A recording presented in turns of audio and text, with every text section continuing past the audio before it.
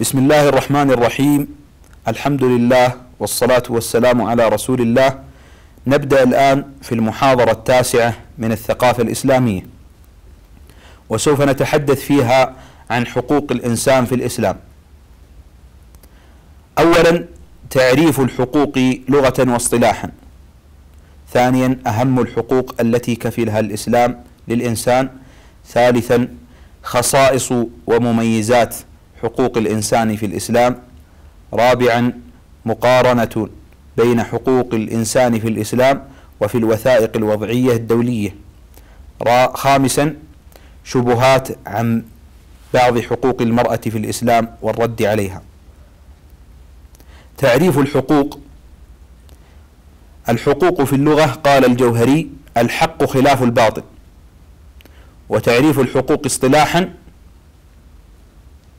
تكون جمع حق بمعنى السلطة والمكنة المشروعة أو بمعنى المطلب الذي يجب لأحد على غيره. أهم الحقوق التي كفلها الإسلام للإنسان. أولا حق الكرامة والتفضيل. قال تعالى ولقد كرمنا بني آدم. ثانيا عدم التمييز في الكرامة وفي الحقوق الأساسية. قال تعالى إن أكرمكم عند الله أتقاكم. ثالثا الدعوة إلى التعاون بين الشعوب على الخير. قال تعالى وجعلناكم شعوبا وقبائل لتعارفوا. رابعا حرية الإنسان في عقيدته. قال تعالى لا إكراه في الدين. خامسا حق الأمن على نفسه وأهله وماله.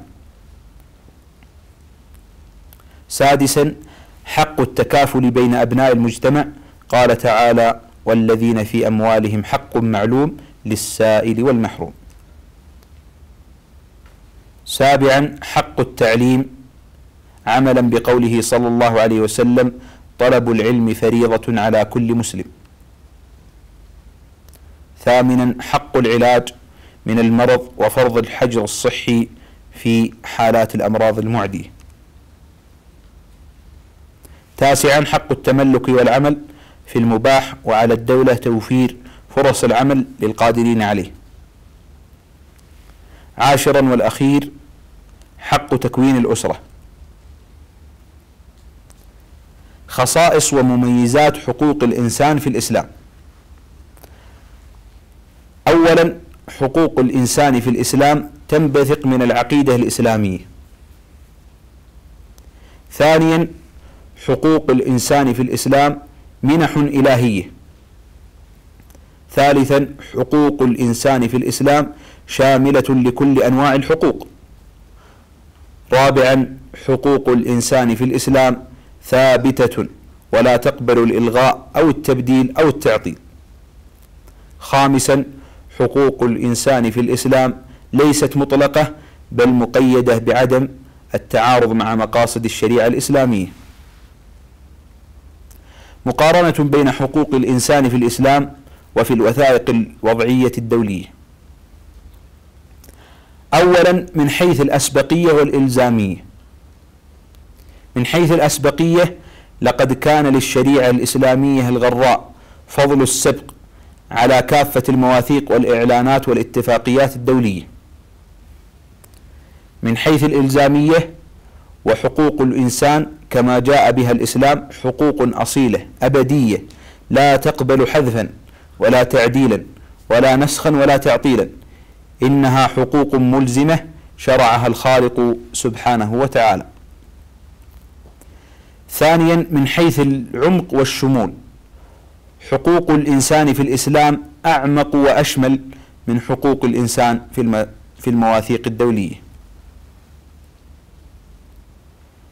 إن الحقوق في الإسلام تبلغ درجة الحرمات وهي في هذا تمر بدرجات. فالحقوق مسلمة ومن بعدها تدعمها الواجبات ومن بعد الواجبات تحميها الحدود. ومن بعد الحدود ترتفع إلى الحرمات.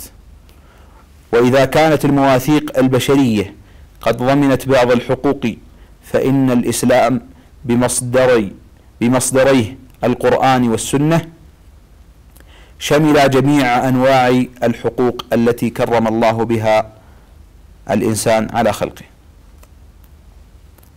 ثالثا من حيث الحماية والضمانات. إن حقوق الإنسان في القوانين الوضعية لم توضع لها الضمانات اللازمة لحمايتها من الانتهاك وإنما هي توصيات أدبية. أما في الإسلام فقد اعتمد المسلمون في مجال حماية حقوق الإنسان على أمرين أساسيين وهما إقامة الحدود الشرعية وتحقيق العدالة المطلقة. شبهات على بعض حقوق المرأة في الإسلام والرد عليها. نتناول فيما يلي بإيجاز بعض ما أورده من لا يعرف حقيقة الإسلام أو من يعرفها ولكن في قلبه مرض من شبهات حول بعض حقوق المرأة ومن هذه الشبهات أولا عدم المساواة بين المرأة والرجل في الميراث ثانيا عدم مساواة المرأة للرجل في نصاب الشهادة. ثالثا استئثار الرجل بإيقاع الطلاق. أولا شبهة عدم مساواة المرأة للرجل في الميراث والرد عليها من وجهين. الأول أن القرآن الكريم نص على تفضيل الذكر على الأنثى فيما ترك في من ترك أولادا أو إخوة لغير أم. قال تعالى للذكر مثل حظ الأنثيين. ومع هذا النص القاطع الثبوت والدلالة لا يحق لأي إنسان مسلم الاعتراض الرد الثاني إن من العدل أن يكون للذكر مثل حظ الأنثيين لأن المرأة لا تجب عليها النفقة مطلقا سواء كانت غنية أم فقيرة وإنما النفقة على الرجل أبا أو زوجا أو وليا. الشبهة الثانية وهي عدم مساواة المرأة للرجل في نصاب الشهادة والرد عليها من وجهين. الأول أن القرآن الكريم نص على أن شهادة الرجل تعدل شهادة امرأتين فلا مجال للاعتراض من مسلم على حكم الله. قال تعالى واستشهدوا شهيدين من رجالكم فإن لم يكونا رجلين فرجل وامرأتان ممن ترضون من الشهداء أن تضل إحداهما فتذكر إحداهما الأخرى. الرد الثاني إن الشريعة الإسلامية اتجهت إلى تعزيز الشهادة حتى لا تكون عرضة للاتهام. ثالثا استئثار الرجل بإيقاع الطلاق. وأما فيما يتعلق بالقول باستئثار الرجل بالطلاق وقصر هذا الحق عليه دون المرأة فلا بد من لفت النظر إلى أولا أن الزواج في الإسلام من الناحية العقدية هو عقد الرضاء. علني يقوم على العطاء المتبادل بين الزوجين. في شخصيهما وفقا للأحكام الشرعية ليتمتع كل منهما بشخص الآخر.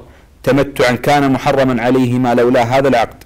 ولو اشترطت المرأة أن يكون طلاقها بيدها ورضي الزوج لكان لها ذلك. فالزواج عقد الرضاء في الأصل. الرد الثاني أن المرأة في عطائها امتازت على الرجل في استحقاقها المهر حسب شروطها وأما عطاء الرجل فكان هدرا بدون أن يكون بدون أن يكون فسخ العقد من قبلها. في هذه الحالة يعتبر إقالة العقد ضارة بالطرف الآخر.